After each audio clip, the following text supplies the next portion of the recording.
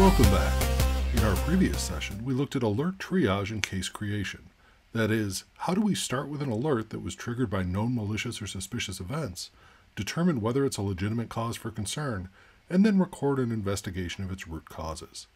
In this session, we're going to be working with something a little more nebulous threat hunting. Threat hunting is not investigating known bad events, but rather combing through the logs and data that we've accumulated in Security Onion to find problematic events that are not covered by our alert signatures and look for unusual behavior. I would like to say up front that this video is not intended to be a comprehensive introduction to the topic of threat hunting, but rather to show you how to use the hunt and dashboard tools in Security Onion to enable your own hunting activities. Every hunt needs to begin with a hypothesis. For this video, we're going to start with a simple one. If there's HTTP traffic on my network that is not going to destination port 80, that's suspicious and should be investigated. I'm going to walk through how to find this anomalous traffic, how to pivot between different tools to investigate it, and how we can tie different logs together to get a complete view of what's happening on the network. Let's get started. As always, we begin by logging into the Security Onion console using the credentials that we established during installation. Once we're logged in, we'll start with the Hunt console. That's the link with the crosshair icon on the left-hand side of the screen.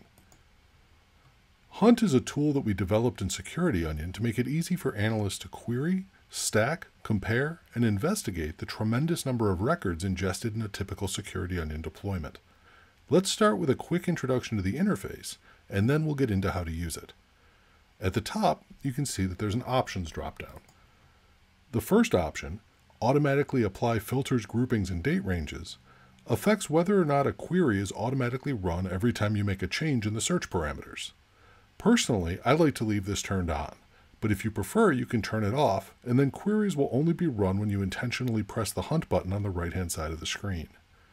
The next three sliders exclude data from cases, detections, and logs from the Security Onion console from showing up in your search results. These are enabled by default because it can lead to confusion if you're searching for a hash value or an IP address and getting results from a past case intermingled with your current results. That said, if you'd like to search cases for a particular tag or category, this would be the place to do it. Just like in the Alerts interface, you can also set an automatic refresh interval here, as well as a local time zone for this browser window. A reminder, all the data in Security Onion is recorded in UTC, but it's displayed according to the local browser's time zone. If you'd like to override your browser setting to show it in a different time zone, you can make that selection here. Here in the upper right corner, there's a total found count for the number of records returned by the current query. In this case, we've got a little over 400,000 records ingested over the past 24 hours. Below that is the time selector, which works the same way here as it does in alerts. It's set to relative time by default, but clicking on the clock icon will allow you to change it to absolute time and retrieve events from a precise time frame in the past. In the upper left corner is the query dropdown.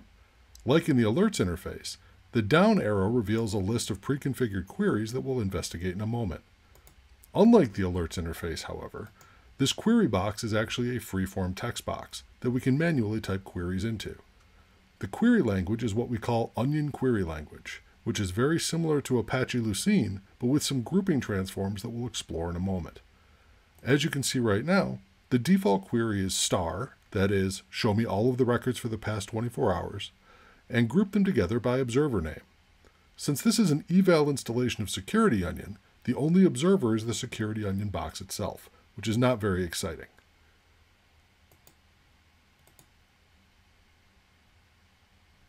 This is a little more interesting.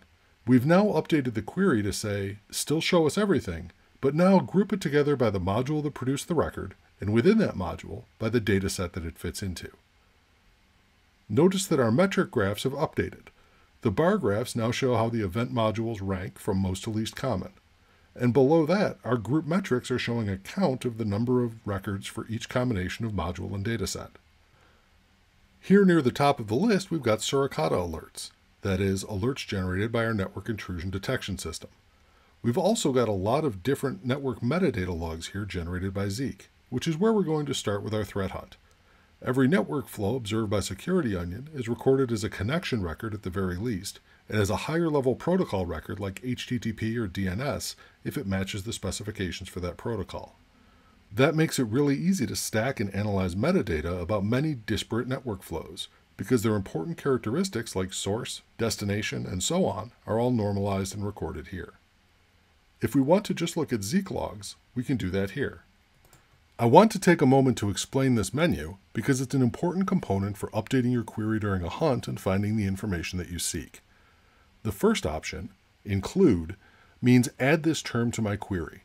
So if I click include here, as I will momentarily, that will update our query to show me only records where the event module is equal to Zeek.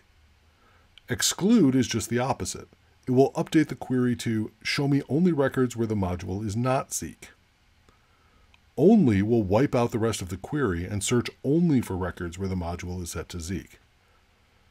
Group by will add this field name, event.module, to the group by configuration in the query, while new group by will do the same thing, but will create a second table rather than adding it to the first. These items under Actions are pivots to other sites or services. We'll return to some of those in a bit.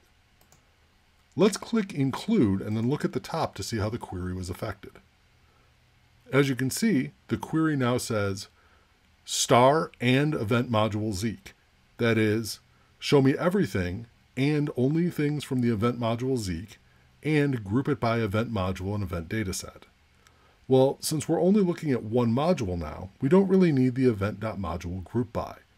We can remove that by either deleting it from the query box or by clicking on this close icon at the top of the column. Now our query has been updated again to show me only Zeek events and sort them by dataset. If you recall, our mission on this threat hunting session was to find HTTP traffic on non-standard ports. To do that, a good starting point will be these Zeek HTTP records. Each of them includes a bunch of HTTP metadata, as well as destination port information so we can correlate them that way. Let's use the only option on the Zeek HTTP dataset in the group metrics list to cut our query down to just those records. Now, as you can see here in group metrics, we're looking solely at 2,672 Zeek.http records after this update to our query. Scrolling down, you'll see there's a list of individual events here, somewhat reminiscent of the drill down list in alerts. As in alerts, you can click on the caret next to any of these to see the full record and all the fields contained within. There's some generic network connection information here, like source and destination IPs and ports, as well as some information that's specific to the HTTP protocol. You'll see things like HTTP user agent, virtual host, and URI all recorded here as separate fields. And any of these fields can be used as a pivot point or a new group by. So for example, if we want to group all of these HTTP records together by their destination port, we can do that easily by either clicking on the destination port and group by, or by clicking on this stack of papers icon over to the left-hand side of the field name. We've now sorted all of these HTTP records into four buckets based on their destination port. Some are bound for port 80, which is to be expected, that being the well-known port for HTTP traffic. The others, though, merit some investigation especially port 443. Putting plain text HTTP traffic on the port normally used for HTTPS might be an attacker or a piece of malicious software trying to blend in with legitimate traffic. Let's go ahead and exclude the port 80 traffic for now by clicking on the 80 and then exclude. Looking at our query, you can see that it now says zeek.http and not destination port 80 so we should only be seeing records for HTTP traffic on non-standard ports. The group metrics here seem to bear that out.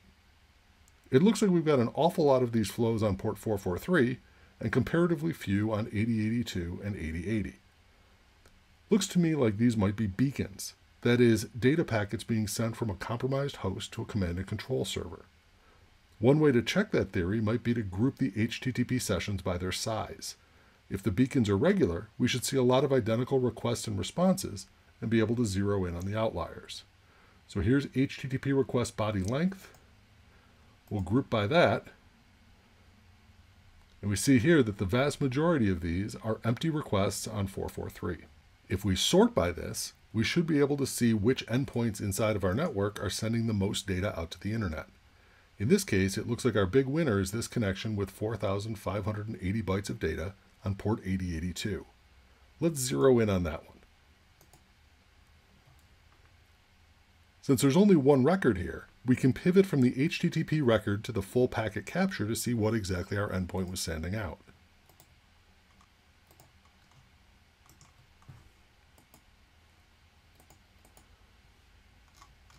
Looking at this, it appears to be a process list and maybe some inventory information about this endpoint being sent to a virtual host with only an IP address for a name. If I had to guess, this appears to be an initial infection from a malicious implant gathering information for future use by a threat actor. This endpoint should be taken offline and re-imaged immediately. Now, one thing that I would like to touch on now is the concepts of log ID and community ID. This log.id.uid field is an internal metadata field from Zeek that's used to tie together multiple records generated by the same flow. So, for example, if an endpoint downloads a file from a web server over plain text HTTP, that will generate a connection record, a file record, and an HTTP record. In order to make it easier for analysts to see all of these different aspects of the file transfer, they will all include this log ID so that they're easy to match up. The network.communityID field here is something similar. It's a hash of five pieces of information the source IP, source port, destination IP, destination port, and whether the flow is using UDP or TCP. This is an open standard that is heavily leveraged in Security Onion. Most log data that contains those five pieces of information will have an associated community ID, which allows analysts to pivot between different data sources like Zeek, Elastic Agent logs, Sysmon logs, and firewall logs. It's very powerful stuff. If we want to see all the other records associated with this HTTP event, we can do that by clicking on one of these fields and then correlate under Actions. As you can see, this opens a new hunt window with an OR statement containing the log ID and the community ID from that HTTP event. And then all of the other information in Security Onion is in these tables and visualizations. It looks like we've got a few different records related to the interaction between this endpoint on our network and what appears to be a C2 server. There are some Suricata alerts here, along with some Zeek records. If we want, we can concentrate on the file records by going to Zeek file and include. And then down here, we can see the individual text files that were sent from this endpoint to the C2, including data like their size and their file hash. If this exfiltration were occurring later in the attack chain, we'd be able to see exactly what the threat actor had pulled out of our environment. Now, where did the original infection come from? Let's take a look at the other Zeek file records for this endpoint and see what we can find. We'll click on the internal IP address and include to add that to our query, and then we'll remove the community IDs because we want to see all of the different flows associated with this IP. You can see right here we've got 61 separate file records with that endpoint as the destination. If we go down to this table to look at MIME type, we see we've got three Windows or DOS executables as well as one zip file. So our next step might be carving those out of the packet captures, determining if one of them was the initial point of infection, and then hunting through the rest of our network to see if any other endpoints downloaded or ran this software. So to summarize, that's the purpose of the Hunt interface in Security Onion. It's a tool for analysts to quickly summarize, stack, compare, and understand the data that's being brought into the platform, and pivot between different logs and views in an investigation. Even a very simple hypothesis, like HTTP traffic on non-standard ports may be a sign of malice or compromise, can be easily and quickly investigated with this powerful query interface. Now, as I mentioned at the beginning, another important tool in the Security Onion console for this threat hunting use case is dashboards. Dashboards are very similar to Hunt, but include a tremendous number of pre-built visualizations for various scenarios. Let's take a look. The options menu at the top here is the same as the one in Hunt. The time selector and so on work the same way as well. This default dashboard is an overview of all the data stored in Security Onion. We've got information about the event categories, modules, datasets, and so on. Dashboards support Sankey diagrams, bar charts, pie graphs, and also these simple tables listing counts in each dataset. In addition to this overview, there are several dozen built-in dashboards related to different protocols and event datasets.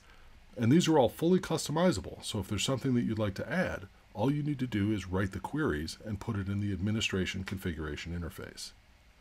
If we want to do a similar threat hunt, looking for HTTP traffic on non-standard ports, we'd probably want to start with the HTTP dashboard. Just click on the drop-down menu and select HTTP.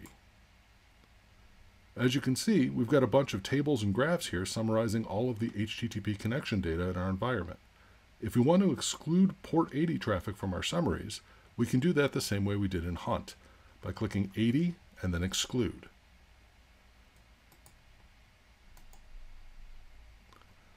Now, we might want to specifically look at post requests rather than get requests just to see what data is being sent out from our endpoints. So we can include that.